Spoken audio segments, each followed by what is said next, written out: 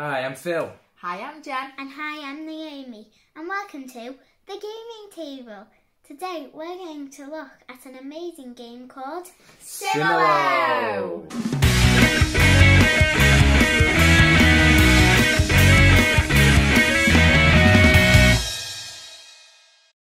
Similo is a cooperative game for two plus players where one player takes the role of the clue giver. That player knows the identity of the secret character. The clue giver is the person who is going to be giving a series of picture clues to lead the rest of the players to determine who that secret character is. They do this by placing down cards in one of two ways. If they put down the clue card vertically, it means that the secret character has something similar to the clue picture that's just gone down. If the clue giver places a card horizontally, it means that the secret character has something different to that character. Over a series of five rounds, players will talk and work together to eliminate characters that they do not believe is the secret character.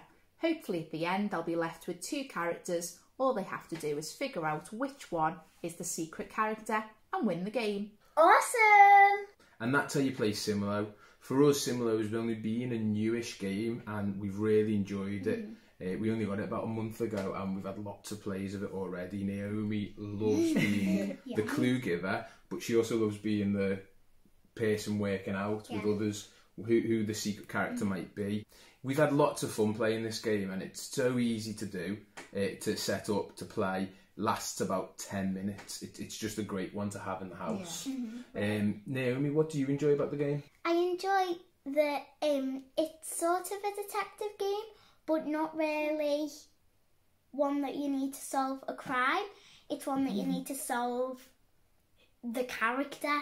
The mystery of the yeah. secret character, Yeah, isn't yeah. it? Yeah, it's it's fun when you're working together, mm-hmm. bouncing off who you think the secret character might be from the clues that have already mm-hmm. gone down, trying to figure out whether that clue is because they're in the same story with our one, which is similar to fables. Is it because they're in the same story, or is it just because they've got the same abilities? So they might be magic, or they might be small, or they might be mm-hmm. an animal. Um, there's all different clues that you can give with just one picture. It's even gone down to games where you've gone, oh, those cards have got similar colours going on in the background. Maybe that's the clue. Yeah, and it really that's takes it. into account all Yeah. your thinking mm-hmm. throughout the game. because it's not just down to who the person is it can be anything it could be as simple as the person is wearing a hat or the, Yeah. the, the colour of their clothes or that they're an mm-hmm. animal or mm-hmm. There's so many different ways that you can use that card to give a clue and it's all mm. down to the people isn't it working together? It's like a big game of guess who basically isn't it? That's Yeah. what we like Like about I it. remember once I was playing with Daddy and Mum put down a card and then I was glued to someone because it was exactly the two same colours in the background so I was like it's definitely them but it wasn't. And that's sometimes the only problem is you convince yourself early on that it's someone, yeah and then suddenly, oh, hang on, that doesn't quite fit, but it must be them.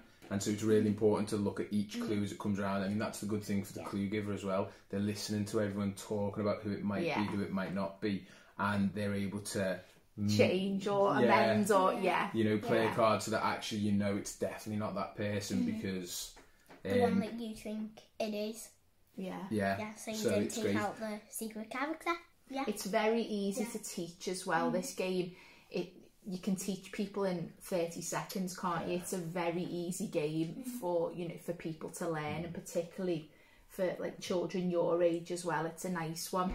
I like the way um, in the game, sort of from a parent point of view, it's great for making links with things or you know stories or games or films that you've seen before. So for example like the secret character could be i don't know the wolf or someone like that Snow the, the White. big bad wolf.